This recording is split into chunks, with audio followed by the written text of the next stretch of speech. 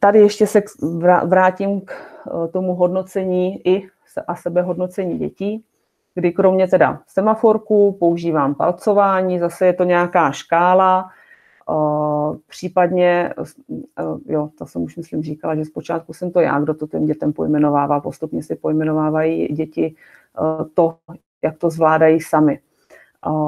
Příklad mám zase, když jsme měli cíl vysvětlit vlastními slovy význam těch výjmenovaných slov POS, tak jak to, jak to zvládají, jestli rozumí všem. Stalo se mi to, že když jsem to položila, děti mi ukázaly semaforky na kamery a uh, někteří měli oranžovou uh, barvu, tak jsem se ptala, co by ještě potřebovali, jestli jim můžu s něčím pomoct, nebo které slovo jim není jasné. A uh, oni mi pověděli, no já bych potřebovala ještě procvičit doplňování i a i. V tu chvíli jsem věděla, že jsem asi úplně nejasně položila tu otázku, respektive jsem jim vysvětlila, o co jde, že nejde v tuhle chvíli o doplňování i, ale o význam těch slov a ujasnili jsme si, ujasnili jsme si situaci. Samostatné práce, pokud jsou nejlépe, vždycky je fajn, když, když už i to zadání obsahuje třeba i tu kontrolu, že si to můžou zkontrolovat na, kalkula, na kalkulačce. Je fajn, je fakt, že se snažím v tomhle dětem dávat tedy nějakou důvěru v to, že to zvládnou. Co týče hodnocení, to bylo taky velmi takové zmatečné, až jsme se teď teprve vlastně dozvěděli, jak to máme dělat, že budeme teda vydávat dětem nakonec asi i vysvědčení, což bylo i pro mě nová informace, není to tak dávno. Tak jak to máte vy? Já teda, jestli můžu, tak hmm. já vlastně po dětech chci nějaké sebehodnocení každý týden jak ten týden zvládli, co zvládli, co jim šlo, co jim nešlo a tak.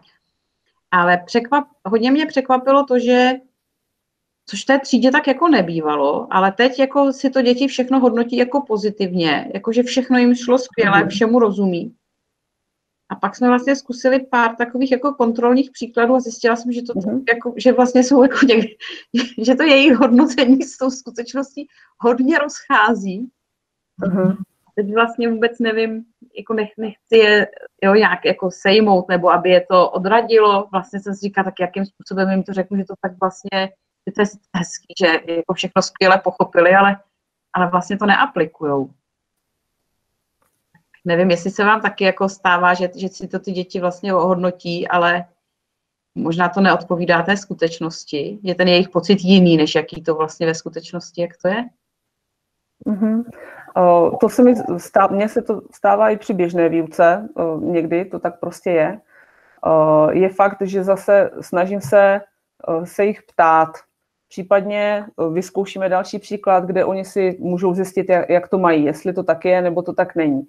Je pravda, že nevím úplně, co s, s těmi staršími dětmi, protože oni to přeci jenom možná mají trošičku jinak, že mám pocit výuky, kterou třeba mám, že děti jsou celkem schopny, až mě to překvapuje někdy, si říct o to, co jako potřebují uh, a jak jsou na tom. Tak ne, úplně asi vám v tomhle mm, typ nějaký nedám. Nevím, jak na to, kromě toho, že se jich třeba ptám. Mm-hmm. Dobře. Otázky, jsou, otázky mi přijdou uh, poměrně jako důležitá věc ve výuce. Já, jestli můžu do toho vstoupit. Určitě. Děkuju tak já, já si asi nebudu zapínat kameru, asi to není nutné. A, a chtěla jsem jen že já používám hodně padletové nástěnky, kde je vlastně možnost přidat těm jednotlivým příspěvkům dětí možnost vlastně komentářů, anebo jakési jako lajkování, dávání srdíček.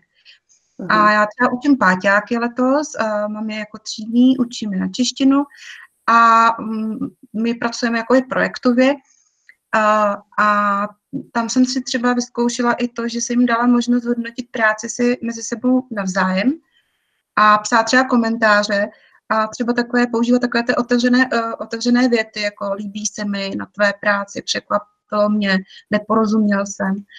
A to je docela také zajímavé, že vlastně je to nutí nad tím více přemýšlet a nejenom prostě jakoby kliknout jenom třeba na tu uh, ikonku s tím slíčkem, mm-hmm. že jako dokážou dát velice hezky tu popisnou vazbu.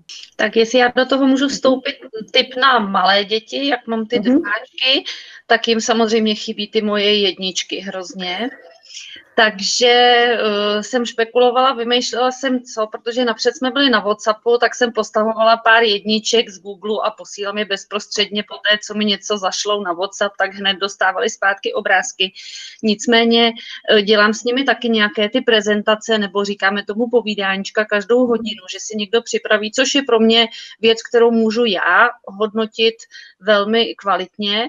Takže jsem si úplně obyčejnou nějakou jedničku vytvořila ve Wordu, zašlu ji rodičům k vytištění a oni si ji potom můžou vybarvit a pověsit doma jakoby na nástěnku, nebo mě ji naopak pošlou ještě vybarvenou a máme takovouhle jakoby tu zpětnou vazbu nějakou i motivační. No.